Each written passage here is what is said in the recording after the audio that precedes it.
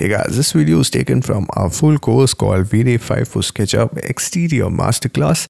And in this video, you will learn how to create landscape with the super powerful plugin called Skatter 2. You learn all the various tricks and you can start using it in your own daily SketchUp workflows. Right, enough babbling, let's jump straight to the video.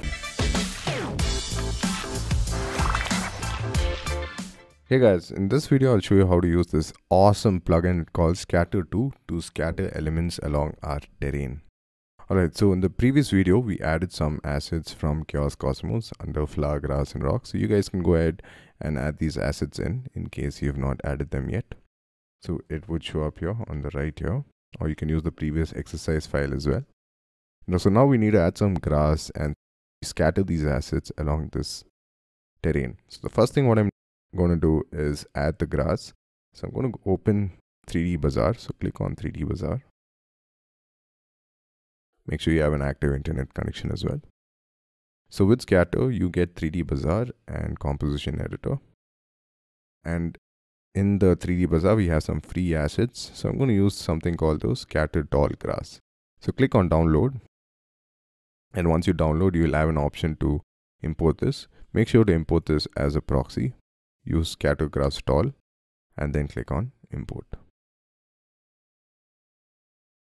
So now it would import into Skatter composition editor and also create a composition called Skatter tall grass.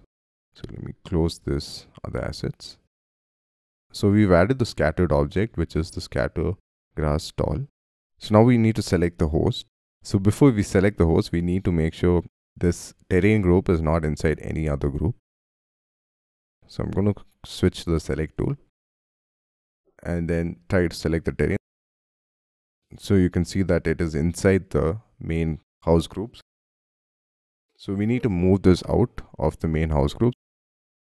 So what we can do is select this group, press Ctrl X to cut it. And then we're still inside the main group. So press escape to exit and now we're outside. Now go to edit and click on paste in place. So now we know that this group is outside. So click on pick surface and then select the group. So now you can see that the grass being scattered. So now we have different options. What I'll do is increase the density. So I, I see more grass and then click on generate. Now there's two modes to generate the grass. You can either generate in render only mode or you can generate it as a grass in the model. So if I switch this off, and click on generate. Now you can see that it comes as a proxy which will be added to your scene. I don't really need this because I will be seeing the grass only in the render. So I'm going to press Ctrl Z, switch to only render only mode and then click on generate.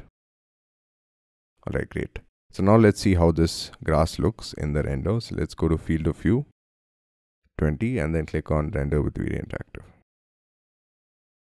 Alright, so now you can see our grass and it's looking great, but you can see that some patches are still left out, especially at the borders. So we need to fix that. So let's stop the render and let's add this to our VFB as well. Close this. And now we need to add another scattered object called the Skatter border. So you can close the composition editor open the 3D Bazaar, scroll down, select Skatter tall grass again, and change this option from Skatter grass tall to Skatter grass tall border.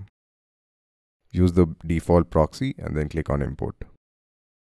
So this would be added to another composition. So if I open composition editor, you can see that we have two compositions now. We have the Skatter tall grass and we have the Skatter tall grass border. So similarly to the Skatter tall grass, for this composition, we need to add the host as well. So I'm going to click on pick surface and then select this group. So now you can see that the grass is being added to the border of this group. Also, I'm going to increase the density a little bit and then click on generate. So I hope Skatter's starting to make sense for you all. So scattered object is basically the objects you want to scatter on a group or on a host and the host is simply a group or a surface which is going to contain these scattered objects. Alright, so I'm going to close this, go to field of view, 20 and then click on render with V-Ray Interactive. Now you don't have to worry about the lighting since it's a little too dark. We're going to fix that later in the course by using some artificial lights. Alright, so now you can see that the borders also get filled up. Perfect. Now let's stop the render. Now comes the magic where we're going to scatter these objects onto the terrain. So this time I'm going to create a fresh composition. So click on composition manager and then click on the plus button to create a new composition. I'm going to call this random objects on terrain and then start adding in our scattered objects. So I'm going to click on the plus button here, select our boulder limestone, select a small flower here, then select the grass object, the Mexican feather grass, and the blue fescue. So now we have the different scattered objects. Now we need to select the host. So click on pick surface and select the host. So now you can see that it starts to scatter all these objects on the terrain. So now we have the option to mix and match these objects. So if I scroll down, we have an option called random scale. So if I switch this on, you can see that the objects would scale from a value of 80% to all the way to 120%. Now I don't need the objects to go bigger, but I would want the objects to become smaller. So maybe from 40% to about 100%. I also have an option to randomly rotate these objects. So I'm going to click on random rotation. So now you can see that all the objects would randomly rotate.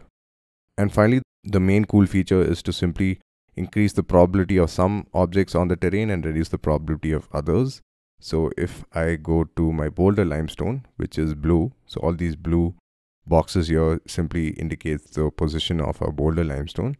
I can reduce the scale of this, so maybe keep it at 50%, so you can see that the blue boxes become smaller. You can also increase the scale if you want. You can also increase the probability of these boulder objects. So now if I reduce it, you can see that it goes away and it's scattered only in some areas of the terrain. Similarly, I can do it for the grass as well. So if I click on this, these green boxes is the grass. So I can reduce the size of the grass and the probability of the grass as well showing up on the terrain. So this is where the grass would show up. Similarly, the other big grass, which is in black in color, so these ones can reduce the scale and keep it at a probability of around 80. So once you've done doing all of that, then you can click on generate. Make sure it is in render only mode. You can go ahead and generate it in the model, but it would make your model heavy. So make sure it's in only render only mode and then click on generate. So now if I go to my front view, do not worry if you close like a Skatter and these objects go away because it would show up in your interactive render. So now if I click on render with V-Ray Interactive, you can see the scattered objects in our scene and this looks makes it look even more awesome and realistic. How cool is that? So that is a quick tutorial into using Skatter. There's a lot more options that Skatter has and I will be exploring Skatter in detail in another workshop. In the next video, I will be adding some artificial lights because our exterior seems a little too dull and I will try using artificial lights to sort of brighten it up. So I'll see you guys in the next video. Cheers. Alright guys, so we come to the end of this video. I hope you found it useful and I hope you learned how powerful Skatter 2 can be. You can download Skatter 2 by heading to the link in the description and you can start using it for a trial of about 15 days if I'm not wrong. Also, if you'd like to learn how to render this entire scene from scratch, head to the link in the description and you'll gain access to our full course. Last but not the least, I know this is a lot of call to actions, but please do like and subscribe to our channel. It keeps us motivated in releasing more awesome content for y'all. I'll see you guys in the next video. This is Manish signing off, aka SketchUp Guru. Cheers.